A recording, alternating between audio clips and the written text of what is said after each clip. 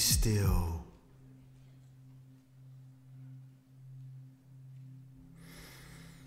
God is our refuge and strength, an ever present help in trouble. He says, Be still and know that I am God.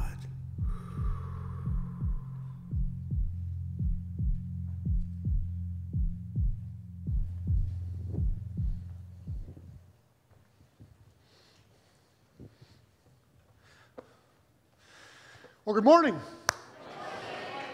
It's really fun to be here again. Good, uh, always good to be back. Uh, it feels kind of like home. So uh, I appreciate you welcoming me back out. I had a wonderful drive out this morning with a spectacular sunrise. Uh, wonderful to see kind of the beauty of creation. It's also fun to be here for baptisms and see the beauty of salvation. So it's been a wonderful uh, time this morning. And if you have your Bibles with you, you could turn to um, Mark chapter 4, because that's uh, the passage that we'll be looking at. Um, you know, as you look at me, you can probably guess that it was a while ago that I was in college. And for some reason, I was thinking about this the other day and thinking, what do I actually remember from having been in college? And, uh, you know, you think about it, you hear an awful lot of lectures when you go through four years of college. And then you, like I was involved in Campus Crusade for Christ, so I'd hear talks there. I'd go to church, I'd hear talks there. And I'm trying to think, what content do I actually remember from being in college? It's kind of depressing, especially for a guy who's a professor. I mean, I, I, I, make my living giving talks, right? And I'm like, what do I actually remember from all this stuff? And one of the things that came back to mind as I thought about this was a, a meeting I was in. I can't remember exactly who was speaking, but I was sitting with a friend of mine named Steve, and he was a, he's a good friend. He's a guy I really enjoyed. Interesting guy. He didn't necessarily talk a lot, but he was really thoughtful when he did, and I always appreciated that uh, about him. Uh, so anyhow, we were sitting there, and the person was talking about anxiety and worry and things like that. And it was one of those talks that kind of it made it sound like all this worry stuff is kind of a really simple thing, and if you follow what I just gave you, all of those things will go away. And I'm walking out with Steve, and he kind of pauses, you know, takes a deep breath. So I'm thinking, hey, something profound's coming. It's Steve. He paused, deep breath. I mean, so uh, he says, you know, the reason people worry is because there's things to worry about. And I thought, well, as profound goes, that may not quite set the needle, but I got to thinking about it. And, and then he talked a little more, and I thought, you know, he's, he's right. The reason we worry about things is that there really are things to worry about. And the bottom line is there's nothing you can say in a talk or other thing to suddenly change the world so that there's nothing left in the world to make you worry. Because the bottom line is the reason we worry is that there's things to worry about. So if you're hoping to come to uh, church this morning, hear a message, you know, we're having a series on fear and stillness. I saw the pictures that you had out there before, burning buildings and things like this. So, hey, if you're if you're living in a burning building right now, or feels like you are, and you're hoping, hey, Rick's going to come and put the fire out, well, kind of not so much. Here's the plan is, is not to make the fears go away, but to get the fears in their proper place.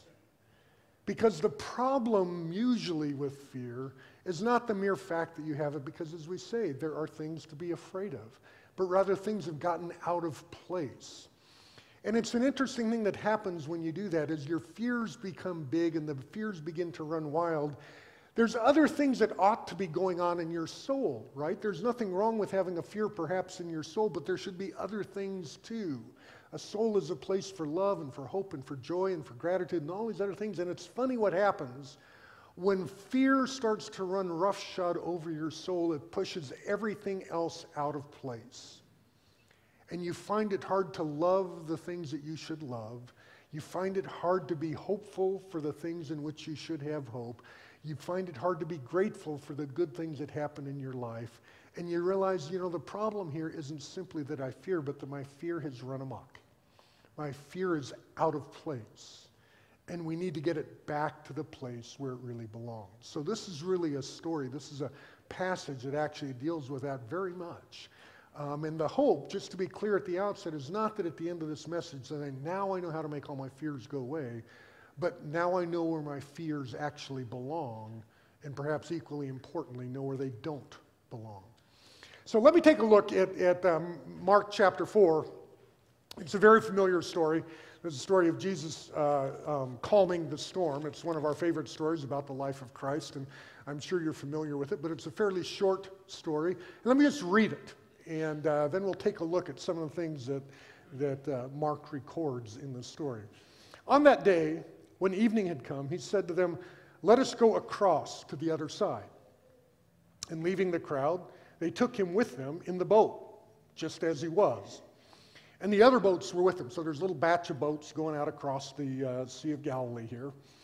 Um, and a windstorm arose, and the waves were breaking into the boat so that the boat was already filling. So these waves are crashing into the boat. But Jesus, he was asleep in the stern on a cushion. And they woke him and said to him, Teacher, do you not care that we are perishing? And he awoke, and then he rebuked the wind and the sea and said to the sea, Peace, be still. And the wind ceased, and there was a great calm. And he said to them, Why are you so afraid? Have you still no faith? And they were filled with great fear and said to one another, Who is this then that even the wind and the sea obey him? Interesting story. And so, what I'd like to do is basically talk about two things. One is to look some at the text of the story itself, talk a little bit about the setting, and then some of the key phrases and things that happen in the narrative. And then what I'd like to do is, is to draw a few lessons from that. And really, all I'm trying to do is unpack what I think the point of this was for the disciples, because it's something about fear and how to get our fears rightly ordered. So, what are some things that we can do to get fears in the place where they might actually belong within our souls? So, first, regarding the text itself, regarding the setting of the text. Uh, it's an interesting point in the book of Mark because what is just preceded is a whole set of parables. Uh, parables about the kingdom, parables about the way that kingdom living should work, things like that.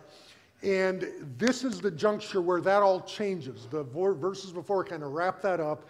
And now we move into a series of events, things that happen. So we go from parables, a batch of teaching, to events, a little batch of history. And as we do that, in effect, we're moving from theory to practice. A batch of ideas were conveyed in the parables. That's how Jesus would convey those things. With those kind of wrapped up, it's like, okay, now it's time to go put it into practice. And they hop in a boat together to get the project going. And of course, as it turns out, the project doesn't really go so well, but hey, that's the plan, right? This is the transition that we find ourselves in, and a batch of things are coming on the other end that are like this. They, first, they cross an ocean, then they meet a guy who's a demoniac, uh, who's you know possessed by demons. They meet somebody whose uh, daughter is dying. They meet a woman who's been sick for uh, however many dozen years, and these are these events that come down on the back side. So that's where this story fits in the middle of this package. Now, let me just pick up a couple really interesting or important phrases in this. The first phrase says, Let us go to the other side. Uh, now, that doesn't sound like a stunner of a phrase, but let me just make this simple observation. This is one of these great moments in the, in the Gospels where Jesus said, Let's go to the other side. And you know what the disciples did? Exactly what Jesus said. It's amazing. Half the time, these guys are going off doing like the exact wrong thing when Jesus tells them to this, they're doing that. And there's all this chaos that they seem to generate by never getting it in terms of what Jesus is doing. This time, Jesus said, Let's go to the other side. He said, Great. And they picked them up and they put them in the boat and they, they went to the other side. Uh, now, the reason I point this out is because we have a knack when we, and it may be that you feel like right now you're living in the burning building, you're feeling like things are all chaotic, you feel like you're in the middle of the storm. You know what we usually do is we assume that somehow the reason this bad thing has happened to us is because we've disobeyed Jesus. We have done something wrong, and therefore the bad thing has happened. And of course, that's possible, right? I mean, we have the Jonah story where Jesus or where God tells him, go to Nineveh, and he says, I think I'll go to Tarshish instead. And the next thing you know, wham, he's out on a boat. They get a big storm, they throw him overboard, the fish swallows him up, barfs him out on the beach. Um, and it's a really lousy way to spend a week, right? So Jonah is having a really bad time. Why? Because he disobeyed. So, no question that can happen. I'm just saying it didn't here. Jesus said, We're crossing over. What did they? Let's cross over. And what happened? Storm. What happened? Things went bad. And it's good to remember that the fact that things has gone bad doesn't mean that you've somehow departed from Jesus. In the midst of the world we live in, following Jesus often entails finding ourselves in the middle of a storm. It doesn't mean something's wrong. It doesn't mean something's out of control. It doesn't mean the world is about to end. Uh, it doesn't mean Jesus isn't on the throne. It just means you are following Jesus into a storm. And that just happens sometimes. And that's what happened here. Now, it's interesting as they're talking about this, you know, storm that they're in. Um, the phrase it uses, and a great wind arose. Uh, so they're out here on the Sea of Galilee, and all of a sudden the winds start blowing. And let me just remind you, these guys are, you know, experienced fishermen. They're vocational fishermen. They've spent their whole life out on the Sea of Galilee, right? And they're familiar with winds. Winds are not uncommon there. They're a little bit like they are for us here. We get our Santa Ana winds, and when a Santa Ana wind kicks in, it's no big surprise to all of us, right? So here they have a Santa Nazareth wind or whatever they call them, and it's blowing down the mountain and everything's, you know, blowing on the sea. But in and of itself, this is not a panic moment for a batch of guys who are fishermen, right? We're in a boat, we're on a lake with a wind. Big deal. But unfortunately, this isn't just a wind, this is a big wind. This is a wind that spins out of control. And suddenly the disciples begin to worry. And the interesting thing is, the waves start crashing over the boat. They are filling it up. It says the boat was already filling. So you realize, oh my gosh, this is a real problem. It's kind of like this. You know, when you live in California, it's always interesting what happens if you're in a room like this and an earthquake takes place. Everybody who's lived in California for like 30 years just is like, yeah, Big deal. Everybody who's fresh here from Kansas jumps up with the first tremor. They're halfway back to Wichita before it's even done shaking, and we're not even moving in our seats. We're like, earthquake, big deal. If you've got a room like this full of Californians and you get an earthquake and they empty out, it's the big one. That's how you know. And I'm just telling you, this was a big wind why? Not because there's a few waves, but because the Californians are freaking out. Okay? These guys are looking and saying, man, we're in trouble. And so back to my story about why do we worry? We worry because there's things to worry about. This was a thing to worry about, okay? When waves start getting into your boat, that isn't how you get seasick in a boat, that's how you get dead. the boat sinks and you with it. So there was something to worry about here. There is no question about that. Now, the interesting thing in terms of where does this go from there is, of course, the wind kicks in. They all start to freak out. And they're, they're doing all the things that they need to do. And they turn around, and Jesus is in the back of the boat sleeping on a cushion. and I, you know, I, I, realize they're probably sitting there thinking, he's a carpenter anyhow, who needs him? We're out on a boat, you know. But nonetheless, it's kind of rude if we're going to croak that he just sleeps through it. Um, so they go back and they grab Jesus by his, you know, lapels or whatever you have on whatever he was wearing, and they, you know, they kind of grab him and shake him. It's like, teacher, don't you care that we're perishing? Uh, they are just, they're blowing a gasket and they grab Jesus and they, they, they, they, they ask him, Don't you care that we're perishing? Now, notice what's happened. What happened was they had a batch of circumstances that began to go out of control. And you know what it did? It made them not worry about the circumstances, but it made them doubt the character of Jesus. They're suddenly asking the question Jesus, don't you care? That we're perishing. You know, two hours ago, I'm sure they weren't asking that question. They were on shore, they just had a great day, they'd been following Jesus, Jesus loved them, they loved Jesus, everything was just peachy. They hop in a boat, they meet a circumstance, and the next thing you know, they're suddenly asking Jesus, Don't you care that we're perishing? And that happens to us a lot, right? When you're going good with Jesus and then something happens And it may be a disease, it may be an illness, it may be something with a kid, it may be something with your parents, whatever it may be. And suddenly the circumstance gets between you and Jesus. And because of the circumstance, you begin to doubt the character of Jesus. And that's exactly what happened to the disciples in this story. Now, the interesting thing that it happens is upon doing that and shaking Jesus, Jesus' response is his great phrase Peace, be still. And of course, the waves ante up. You know, that was God. He just told me, still. I'm still. Um, so that's how this episode goes. But you want to enter into this one a little bit more because it's a really interesting story here, right? You know, these guys hop on the boat, they start to pass across. There's a little bit of a wind, a little bit of a wave, a little bit of wind, a little bit of wave. Isn't this nice? This is all cool. Wave gets a little big, wave gets a little splash, get a little water in there. Next thing you know, the waves are getting big and they're crashing against the side of the boat. The wind is blowing and the wind is loud. Once the waves begin to get into the boat, as it says the boat was already filling, that means all the disciples who were in the boat are already bailing because that's what you do when the water starts to get in and it starts to fill, you start to bail. So you have a wind blowing, you have the waves crashing, you have the guys messing with the sail. I don't know what they do, but you know, when you're in a windstorm, they always do something with the sail. And so they're messing with the sail, they're bailing out, they're yelling around, they're looking over, where's Jesus? Jesus asleep. Peter grabs Jesus, shakes him out and tells, Don't you care that we're all dying? And the whole place is screaming and yelling and turbulence and all this. And the way the passage records it, all of this is going on. They grab Jesus, they're yelling at him, and then it says, And then Jesus awoke. I mean, Jesus was like, he was out of it. It had been a long day, okay? So all of this stuff's gone. They've grabbed his lapels, they've shaken him up good, and finally Jesus is like, whoa, what's going on here?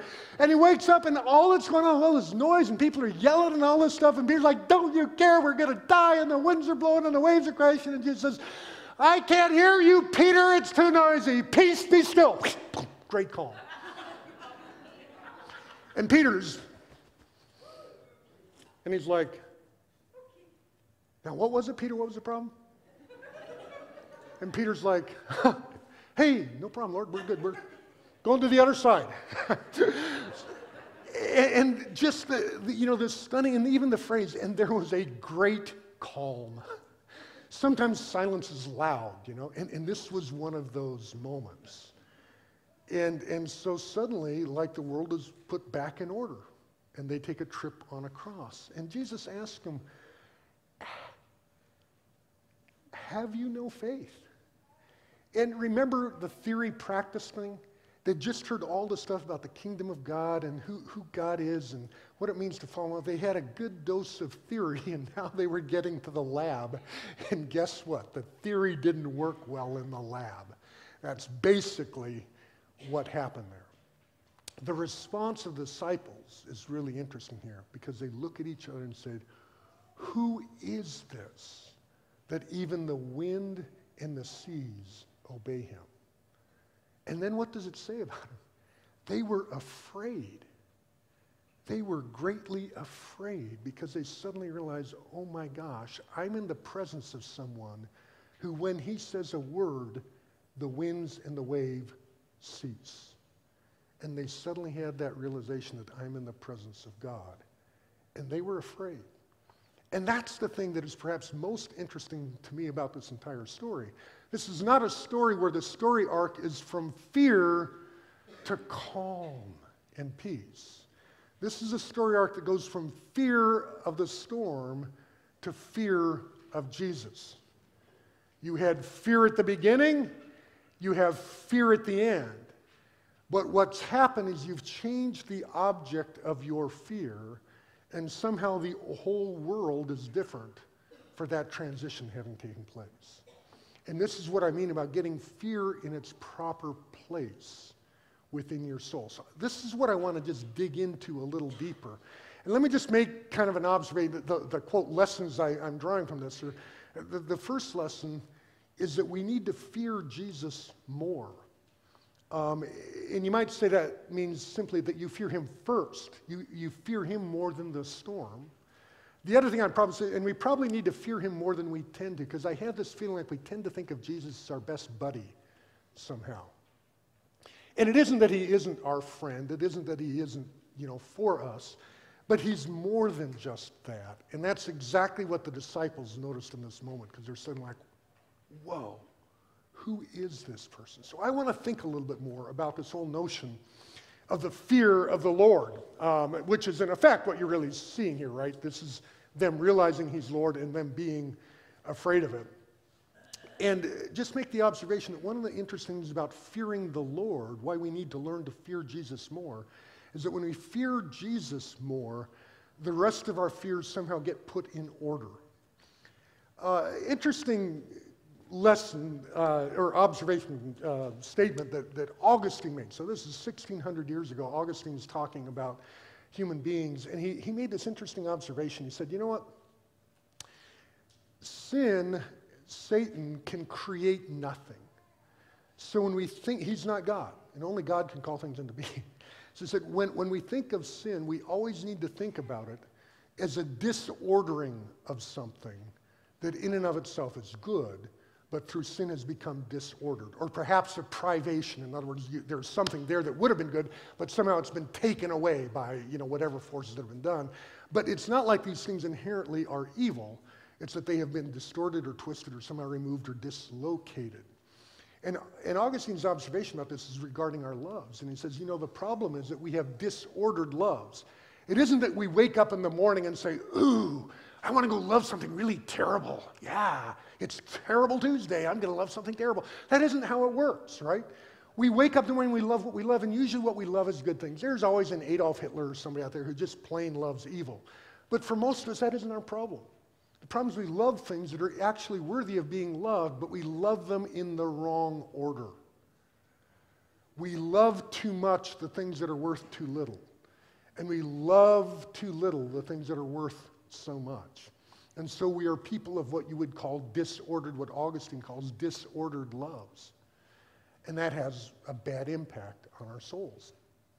My only observation is the same thing is true of fears. We tend to have a bad set of fears mixed around us. Not because there's nothing to fear, but we fear things the wrong way. A great analogy for this uh, was uh, William Temple was talking about this and said the world is like a jewelry store in which some vandals have broken in, but what they did, they didn't steal anything, they just changed all the price tags. So everything really valuable, they put the cheap price tag on, and everything really cheap, they put an expensive price tag on. And we live in a world where all the prices have been disordered. And then we pay for things a lot for things that are worth very little, and we, we give very little for things that might be worth a lot. And so we worry. Same thing happens again with our fears, right? As we end up with our fears not being attached to the thing we should probably be uh, concerned about. A couple of things. Number one is our, our fears get disordered partly because we just have so many, and we're afraid of so many different things. We, we worry about this thing. We, oh, I've got to get my job. And then we worry about the economy. We worry about Washington being shut down. And we worry about our neighbor. And we, we have so many different things we worry about. And it's just like your house when you, you wake up morning, you look around and you just go, I have too much stuff. It isn't that I need to put these three things back on the bookshelf. Just no, there's just too many things here. And disorder emerges simply because of the number of things that you are afraid of uh, you, you multiply in that sense your fears. Interesting thing though, not only does that make disorder, it is disordering upon our souls. Because we're afraid of all these things, we don't know which way to turn because we look at this one, we're, oh, I'm afraid I'm going to lose my job. Oh, I'm afraid that if this happens, I'm going to lose my relation with my wife or, or my kids or Washington. Or, and, and we turn this way and that, and every way we go is another swirling fear. And our disordered fears become disordering to our souls and to our lives, and our lives kind of spin off into chaos of uncontrolled worry. And here's the trick is to get the first love in place and the first fear in place. This is what Augustine said about the love. Says you, know, you have to start with the love of God at the top. And once you have that love in place, your other loves find their place underneath your first love. And likewise with your fears. If your first fear is fear of God, the other fears find their place underneath that. and are ordered by this first love is what you might call an ordering love or an ordering fear. And I would simply say the fear of God in that sense is our ordering fear. We get that one in place first, and the other things, in some sense, attached to it. Let me just read a passage of scripture from Isaiah chapter 8 that kind of manifests this nicely. This is a time when things are kind of chaotic in the life of Israel. Isaiah is talking to the king, and he says, Do not call conspiracy all that this people calls conspiracy, and do not fear what they fear, nor be in dread. But the Lord of hosts, him you shall honor as holy. Let him be your fear, let him be your dread. Interesting how he says, You guys are worried about many things. All these other people are worried about all this. Don't call everything conspiracy that they call it. Don't fear everything that they fear. Uh, let God be your fear. Let him be your dread. And then these other things fall in place. I had an interesting experience with this with, with my dog Dakota. She's um, German Shepherd. And we would take her for walks, and she'd just go berserk when some other dog would go by. It just, it was not happy for, you know, mom and dad, and it's not happy for doggy doggy. It just, the whole scene was, was ugly.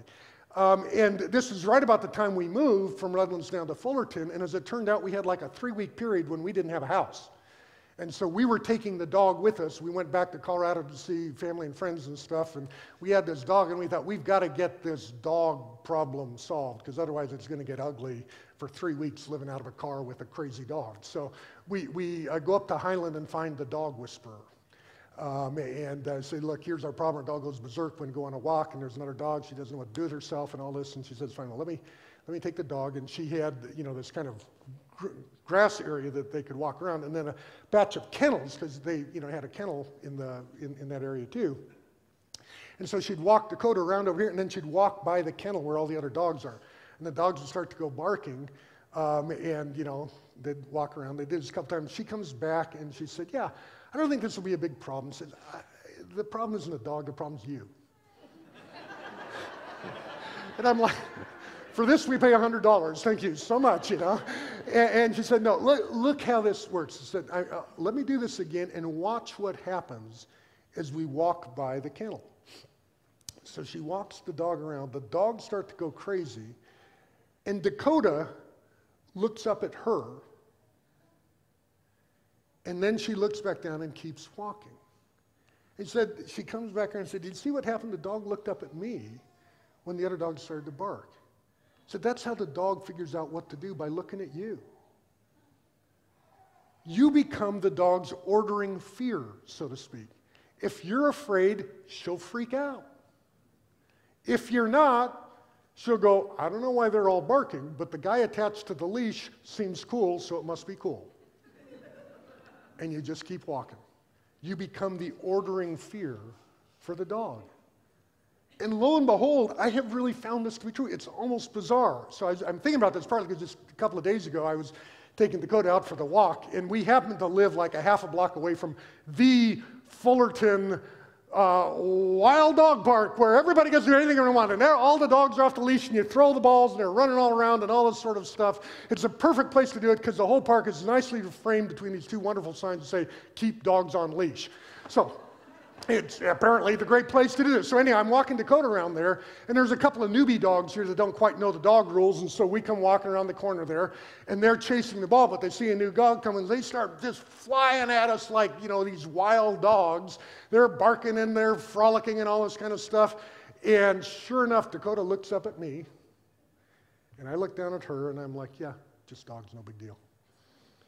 And the dogs come flying up, and they start sniffing all the relevant dog body parts and, you know, running around like that. And I just keep walking, and Dakota keeps following, and just walk right on with the rest of our walk. Because I was the place where she could drop her fears, so to speak. She dropped the anchor of her fears into her master, in effect. And she realized as long as I'm on the leash, as long as I'm attached to the master, it's okay. And I figure out how much I'm supposed to be afraid by looking at the person I'm more afraid of, so to speak, my master. Now, I don't beat Dakota, I feed her. And she realizes, hey, I'm going to treat this guy good because he treats me good. So it isn't that the fear has to be born of this, you know, mortifying sense of, oh, if I bark, he'll flog me when we get home. It's born of devotion. The dog is devoted to me. I have no idea why, but she is.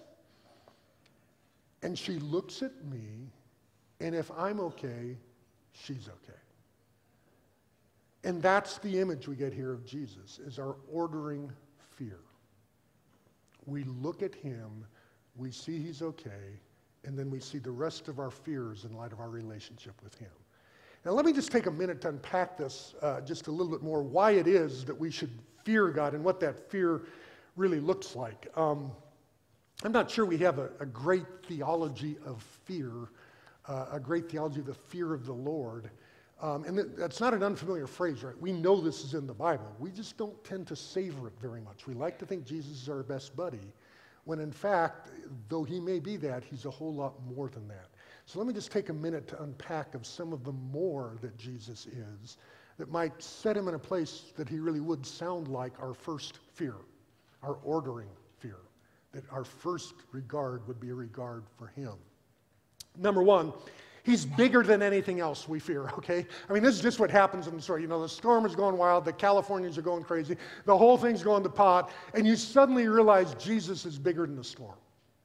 He's just plain more powerful, more capable, more able to do what needs to be done than the storm itself is able to do.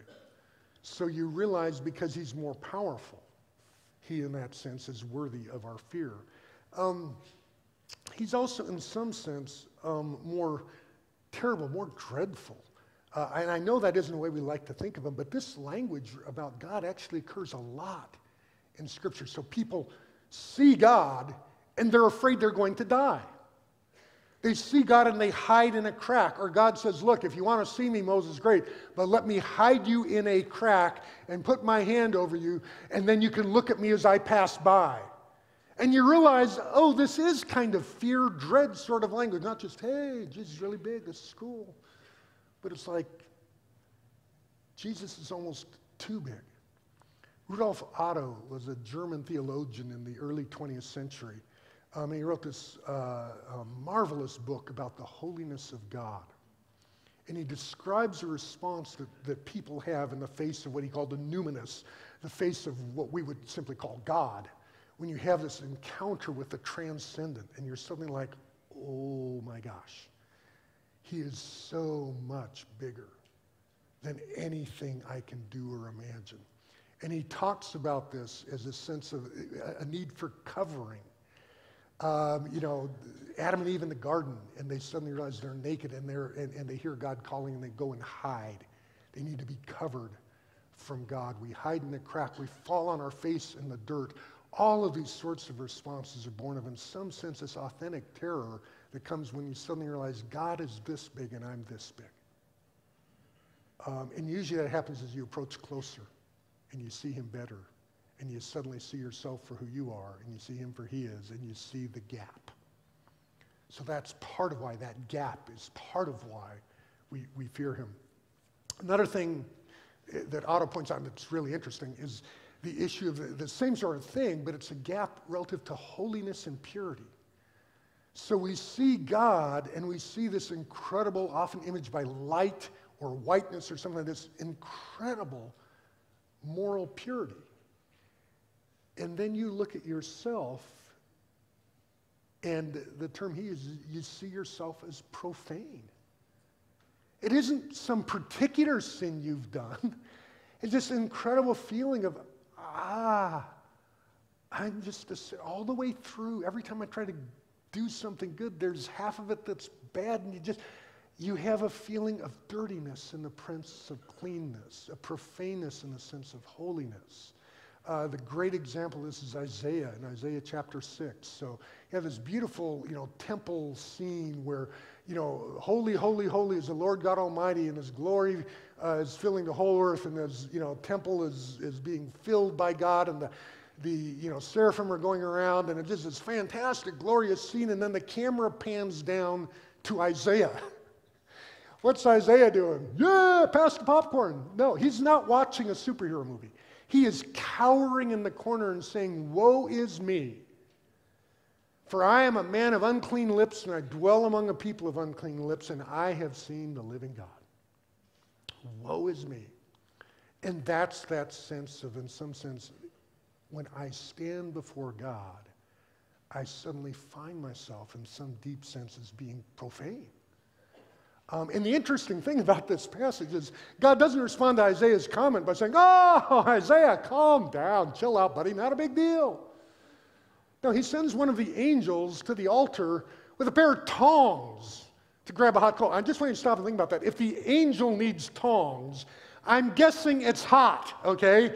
And he grabs the coal and he goes over there and he presses that coal to Isaiah's unclean lips. That's an image of cleansing that simply reinforces Isaiah's perception of the distance between him and God, right? He doesn't wipe it away like, hey, no big deal. It's like, no, it is a big deal. The good news is my grace is bigger still. And that is the next reason why we might want to fear God, is because of his grace. For all of the things I've just said, all of these reasons we should fear him, um, and all the times in Scripture where people do fear him, the thing that's so interesting is almost every time after somebody has the fear moment, it's followed up with a fear not message from God. Uh, in the case of Isaiah, it's in effect a fear not because I'm going to cleanse you. It can be a fear not because I'll lead you over, fear not because I'll be with you. Whatever the thing is, and it's always in the context something that, as I've said, totally legitimate to be afraid of. We're about to cross into the promised land. I'm afraid of these guys are going to kill us. By the way, they can, okay? But fear not, for I'm with you. And so, this is the message that we get from God, not as that there's nothing to fear, but the fear not comes because of the presence of God, the connection between the fear and the fear not isn't the falseness of your beliefs, but the grace of God who will be with you. Because I'm with you, you need not fear. If you start going without me, then I have, all bets are off because there's really things to fear out there. But the promise here is that you live and you walk with the fear not God. So that's, in a back-end way, part of why we fear him because of his grace. Another thing that's interesting is God is devastatingly loyal to his word. So, Deuteronomy chapter 8, they're about to enter the promised land, and they're going to have all these, you know, your flocks will increase, and your harvest will increase, and you'll build paneled homes, and you'll live in them. All these wonderful things will happen when they get to the promised land. And in Deuteronomy 8:18, God says, Remember the Lord your God, for it's he who gives you the power to get this wealth. Why? that he might confirm his covenant that he swore with his fathers. Why is all this wonderful stuff happening? God says, Because I keep my word. I swore this covenant to your fathers. We're going to keep this covenant, and that's what's going to happen. I am loyal to my word. The only rub on that is, as he keeps talking. He says, If you forget the Lord your God and go after other gods and serve them and worship them, I solemnly warn you today that you will surely perish.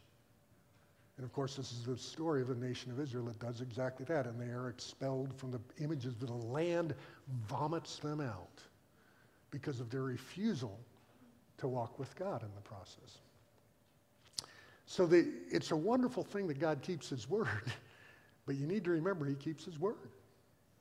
He keeps His word. His words of blessing and His words of warning are both true words that He plans to keep.